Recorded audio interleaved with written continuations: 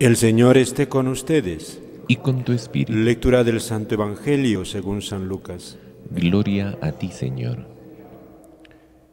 En aquel tiempo la gente se agolpaba alrededor de Jesús para oír la palabra de Dios. Estando él a orillas del lago de Genezaret, vio dos barcas que estaban junto a la orilla, los pescadores habían desembarcado y estaban lavando las redes. Subió a una barca, a una de las barcas, la de Simón, y le pidió que la apartara un poco de tierra. Desde la barca, sentado, enseñaba a la gente. Cuando acabó de hablar, dijo a Simón, rema mar adentro y echad las redes para pescar. Simón contestó, Maestro, nos hemos pasado la noche bregando y no hemos cogido nada, pero por tu palabra echaré las redes. Y puestos a la obra hicieron una redada de peces tan grande que reventaba la red. Hicieron señas a los socios de la otra barca para que vinieran a echarles una mano. Se acercaron ellos y llenaron las dos barcas que casi se hundían. Al ver esto, Simón Pedro se arrojó a los pies de Jesús diciendo, Apártate de mí, Señor, que soy un pecador. Y es que el asombro se había apoderado de él y de los que estaban con él al ver la redada de peces que habían cogido, y lo mismo les pasaba a Santiago y Juan, hijos de Zebedeo, que eran compañeros de Simón. Jesús dijo a Simón, No temas, desde ahora serás pescador de hombres. Ellos sacaron las barcas a tierra y dejándolo todo, lo siguieron. Palabra del Señor. Gloria a ti, Señor Jesús. Amados hermanos, y nuestro Señor Jesucristo, y María Santísima, nuestra Madre. Hoy día celebramos la fiesta del Papa San Gregorio Magno, uno de estos grandes papas que la Iglesia ha tenido como pastores y que son columnas en la Iglesia. Y estas columnas de la Iglesia, como aquí en la historia de San Pedro, qué fundamentales, qué fundamentales. San Gregorio Magno tenía como vocación ser monje. fíjense que la inquietud que anima a este hombre. Él se retiró a la soledad.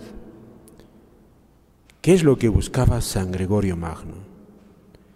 Él buscaba escalar puestos, ser eh, pastor, sea, ser obispo, ser cardenal, ser papa. No. Él lo que buscó a Dios. Y fue monje. Pero también la providencia de Dios lo va a conducir a ser papa. ¿Qué buscó San Francisco de Asís? San Francisco de Asís escucha una voz, repara mi iglesia, y él entiende que tiene que reparar la iglesia de San Damián, una construcción que se estaba, se estaba dañando, se estaba viniendo a menos. Y ahí está San Francisco de Asís poniendo piedras y pegando una tras otra, tratando de reparar un edificio material. ¿Y qué más? Vive pobre como un mendigo, prácticamente. ¿Tiene intención de fundar una orden religiosa como hoy la vemos? No. San Ignacio de Loyola es un soldado roto, un hombre pecador. Se ve al, al borde de la muerte y en la convalecencia, en que se, eh, empieza a meditar sobre su vida, qué rumbo la estaba dando. Y se da cuenta que no tiene sentido su vida así. Casi se condena. Y empieza a orar, a meditar y encuentra que la alegría más grande ¿eh? le viene de, imitar a la vida de los santos. Piensa volver al mundo, pensaba escalar puestos, ser un hombre de gloria, de dinero, se siente entusiasmado, pero me deja vacío esas ideas. Piensa en la vida de los santos, la vida de Cristo, vivir solo para Dios y le llena de un entusiasmo santo y lleno de consuelo. Lleno. Pasan meses y deja todo. Deja todos sus bienes, empieza a vivir la vida de un mendigo, pobre por Cristo, y hablando del amor de Dios a los demás, hablando de, los, de la conversión, de la vanidad de la vida. Y entonces él no pensó iniciar una orden religiosa. Incluso estando en Barcelona, se le unen algunos compañeros, unos tres, cuatro, y le abandonan. Le abandonan a él. Incluso sufre calumnias. Él va por la vida, primero Barcelona, después tiene una inspiración de ir a Tierra Santa, porque quería de ahí empezar a predicar, como los apóstoles, ir al mundo entero a predicar. Va a Tierra Santa y no se puede quedar y regresa.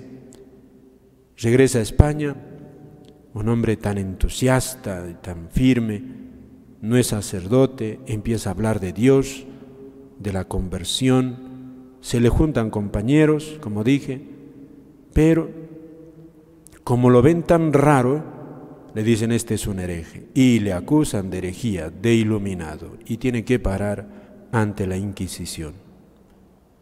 Donde iba San Ignacio levantaba contradicción. Y entonces el santo empieza a pensar, ¿qué hago? Se da cuenta que Dios le pide que sea sacerdote. Y no decir, ya dice, no, ya no voy a estudiar en España porque ya me conocen y me creen que soy yo un hereje y además yo no me aguanto y empiezo a hablar a la gente, entusiasmo a la gente en el amor a Dios, me siguen y no me dejan estudiar. Entusiasmo a la gente, no me dejan estudiar, yo no puedo estudiar, pero veo que tengo que estudiar. Y se va a París, porque dice, pues si voy a París, primero, ahí nadie me conoce, no conozco a nadie, mejor ya, estudio y me quedo estudiando. Y se va a estudiar a París para ser sacerdote. Él piensa en una compañía de Jesús, no piensa. San Ignacio no piensa de los inicios una compañía de Jesús, pero Dios le va llevando poco a poco, en poco a poco, como a un niño. Es lo único que busca, y ese va a ser como Em, gran como su emblema. ¿eh? Desde el principio, lo único que él va buscando es, San Francisco hizo esto, yo lo voy a hacer. Santo Domingo hizo esto, lo voy a hacer. O sea, yo quiero ser como esos santos que han servido fielmente a Dios. No quiero nada más. Y esa fidelidad, San Ignacio la traduce en pobreza total, castidad y obediente. Entonces va viviendo así. Pero él y anima a otros a vivir eso. Pero no, no busca otra cosa. Con el paso del tiempo Dios le irá guiando. El mismo San Juan Bosco inicia su obra porque ve niños necesitados y los ayuda. Tenía ese don, esa simpatía natural y como se le juntan una nube de chiquillos, claro, dice, esto tengo que organizarlo. Y de los mismos chiquillos empiezan a salir ¿eh? los ayudantes. O sea, ¿qué es esta escena en la vida del apóstol San Pedro y en nuestra vida? Como a San Pedro, queridos hermanos, Dios se insinúa, ¿eh? Primero eh, predica y le pide a Pedro, déjame subir a tu barca para predicar desde ahí. ¿Qué diría Jesús que San Pedro por lo menos se queda impactado con Jesús? Este hombre estaría quizás rehaciendo sus redes porque toda la noche han bregado y no han pescado nada. está fastidiado. Claro, un hombre que trabaja y no coge nada de su trabajo es un fastidio. Y ahí viene el reto del Señor. Ha predicado, ha impactado algo en San Pedro y le dice, Pedro, rema mar adentro y echa las redes. Y San Pedro se resiste un poco, ¿ven? Un poco. Le dice, mira Señor, hemos pasado la noche bregando, ¿eh? pero es una resistencia frágil, ¿no? Pero para que veamos cómo, em, cómo el Señor lo va guiando. Ahí está.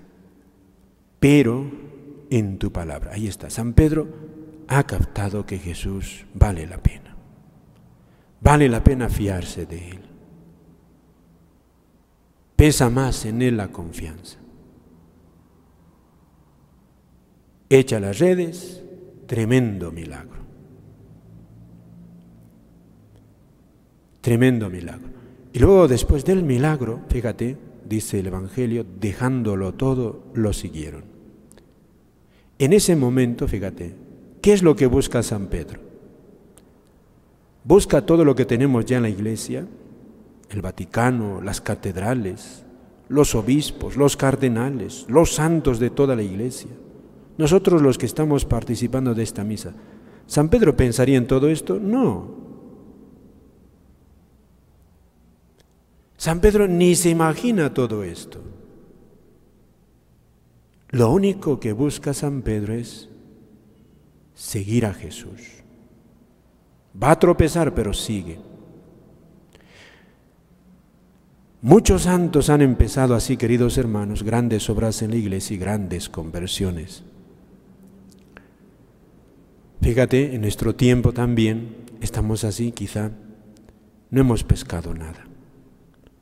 Quizá pueda haber esa sensación ¿Qué hemos hecho si en este tiempo, hasta este tiempo, tenemos las manos vacías? Y casi, casi nos llama Dios a la otra vida, o quizá nos va a llamar, no sabemos. De una decepción, fíjate, de una decepción en la vida, Dios no nos está dando ahora una lección Dios está subiendo a, la a nuestra barca y nos está diciendo, rema mar adentro y echa las redes. ¿Esto qué es para nosotros hoy? Queridos hermanos, hay una tentación muy fuerte hoy, fiarnos de nosotros, de nuestros planes, de nuestras capacidades y echar al lado la palabra de Dios, la fidelidad a la palabra de Dios. Y entonces como al, apóstol San Pedro, hoy también el Señor nos dice, mira Pedro, ya, ya, eres tú muy capaz, pero te has fiado de ti. No entonces, ahora fíate de mí. Echa las redes.